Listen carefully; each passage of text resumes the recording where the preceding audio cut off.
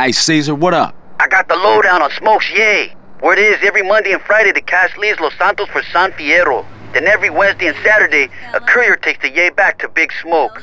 Okay, I keep an eye out for for 'em. See if I can't spoil they little party. All right, man.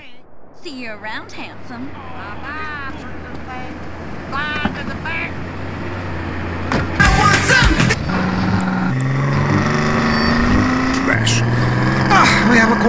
Finally. I just want to tell people about a great holiday. You mean vacation? We call it vacation. What is it? Searching for a Yeti in the Himalayas? Learning to play an alpine horn? Hunting for pythons in Africa? No, Canada. But what about a young man to peel grapes?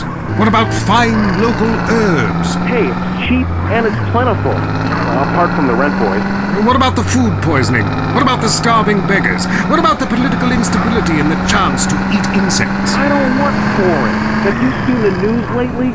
Philistine. Well, if you want exotic, go to Hawaii. They still trade in beads there and ride planks rather than motorboats. Time for me to head south again. On the next show, we'll be discussing Amsterdam, Paradise Regained, Morocco, Spooky Smoke. Until next time, travel safe. Ciao. I'm James Pedeston, and this has been The Wild Traveler. This is WCTR, committed to bringing you shows like The Wild Traveler, even if we received a cease and desist. Sounds like you got a nasty cough. Yeah? No shit. Here, baby, try this. Soothe? Yeah, Soothe annihilates cough and cold symptoms. Wow, I'm seeing dark. Ah, Man, That's the patented cough-killing concoction of codeine, morphine, and alcohol. Your cold will be history. How's your cold now? who the hell are you? I'm your wife, fool.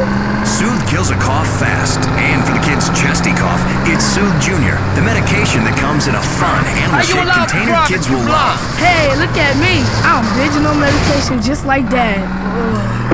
Oh my God, he's barely breathing. No, that, that, that's just the, the medicine doing its magic. Thanks to Soothe, his cough is history. With Soothe, you'll forget you had a cough, your name, or where to properly go to the bathroom. Feel better fast with Soothe. Need to meet someone very special? Lonely Hearts is next. Welcome to Lonely Hearts, the place where we make dreams come true, where we bring people together and we remind you about what really matters in matters of the heart. Great abs and a fat wallet. Hi, Lonely Hearts the phone. Hello. My name is Zero. I'm a first-time caller, and uh, uh, to the show. I've used the telephone before, but I am having real trouble with women. I I don't know any. I don't know any. Well, we all go through mood spells, you know. After a drought, you'll settle for anything that drops out of the sky, especially illegal immigrants stowed away in the landing gear. So exotic. No, no, no. I, I do. I, I masturbate quite often. If that's what you're implying. I, I'm just saying. Uh, this is quite a lean spell, lady. Oh, that's too bad.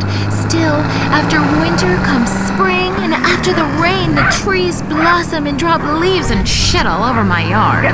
Well, this is quite a winter. Do you understand what I'm saying? Try, try a nuclear winter. I've never even been near a Oh, woman close shit. enough to I grasp. don't know what to say.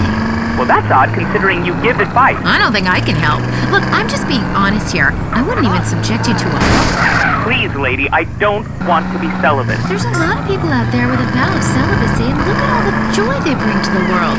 I'd love to help, but it sounds serious, and I like to keep things strictly trivial.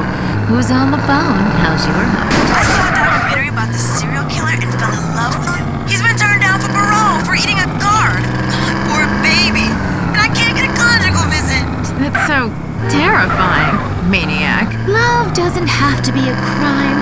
Like when you would write your name over and over maniacally on a spiral bound notebook in class, just wishing around during algebra class and say, Do you want to study tonight? And then he's so overwhelmed with passion.